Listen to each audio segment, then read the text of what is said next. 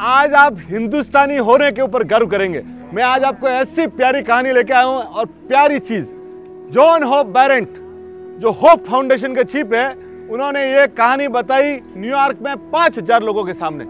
उन्होंने बोला कि मैं इंडिया आया, ये बात है 2011 के पहले की, और यहाँ पे बहुत बड़ा लेक्चर था, और मैं जब लेक्चर कंप्लीट करके होटल गया तो मैंने देखा मेरा वॉलेट गुम हो गया।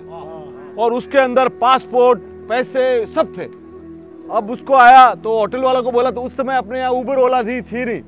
वो एक काली पीली टैक्सी थी। तो बोला, भाई, टैक्सी वाला? बोले, यहाँ तो सब आपने टैक्सी की। तो बोले, चला गया।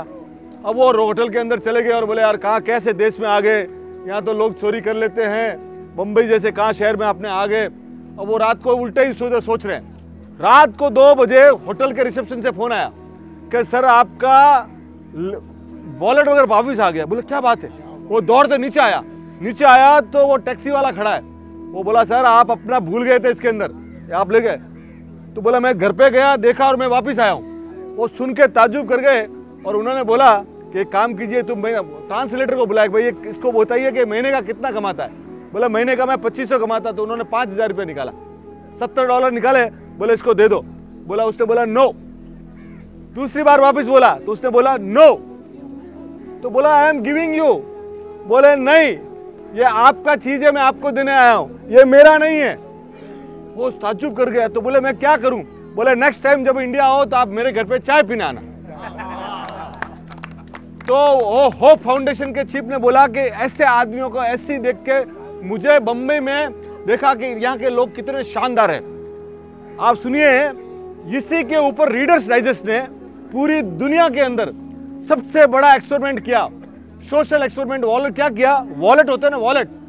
उन्होंने पूरे दुनिया के 16 देशों में 12 वॉलेट इधर उधर डाल दिए। कितने? जहाँ भी हो, उसके अंदर क्या क्या डाला एक तो फ़ोटो, एक उसका फ़ोन नंबर, एक उसका फैमिली का फोटोग्राफ, एक कूपन, यानी और एक बिज़नेस कार्ड, और एक, उसके अंदर 50 डॉलर, यानी इंडिया की करेंसी आज के हिसाब से चार हज़ार रुपया। उसके अंदर डाल के उसने वहाँ बारह बटुए पूरे शहर में फैला दिए। कितने शहरों में? सोलह शहरों में। आप सुन के खुश हो जाएँगे, सर। दूसरा सबसे ईमानदार शहर बंबई निकला। पूरा दूसरा। पहला कौन सा? फिनलैंड का हेलेंस्की, जहाँ पे 12 में से 11 मिले। दूसरा अपने बम्बई में 12 में से 9 मिले। कितना बड़ा? तीसरा, न्यूयॉर्क और बुडापेस्ट, जहाँ आठ मिले। चौथा, मास्को और एम्स्टर्डम, जहाँ पे चार मिले। पांचवा, बर्लिन और लुबियाना, वहाँ पे पाँच मिले। छठा यानी आप सोच के और सबसे कम कहाँ पे मिले मालूम है? पोर्चुगल में। पोर्चुगल के लिस्बन में सिर्फ़ एक ही वापस आया। जो- और स्विट्जरलैंड अपने जाते हैं ना, स्विट्जरलैंड ज्यूरिक में चार। आप स्पेन जाते हो, मैड्रिड में दो, पराग में, चेक में तीन। तो साहब, हिंदुस्तान में, और ये आपको, ये सब देखा ना तो महेंद्र, आनंद महेंद्रा ने ट्वीट किया था।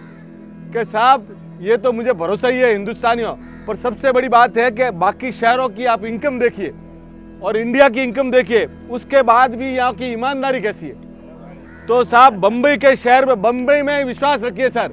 बम्बई जैसा शहर और हिंदुस्तान जैसा देश आपको पूरी दुनिया में कहीं नहीं मिलेगा